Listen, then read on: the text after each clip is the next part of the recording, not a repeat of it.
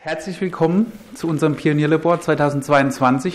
Was ist Pionierlabor? Wir sind vor einigen Jahren zu dem Punkt gekommen, was machen eigentlich unsere Teilnehmenden draußen so? Natürlich erleben wir das ständig in den Seminaren, da wird ja ganz viel Praxis auch mit eingebracht und daran gearbeitet. Und dann ist aber so, ja, was machen Sie dann danach noch? Und dann haben wir gedacht, das ist doch eigentlich eine schöne Idee. Die Dinge, die ihr draußen macht, wo ihr auch Pionierarbeit leistet, so ist dieser Begriff entstanden, dieser Titel, diese Projekte, diese Vorhaben auf die Bühne zu holen und ein Forum zu gestalten von Praktikern für Praktiker. Das ist das äh, Pionierlabor.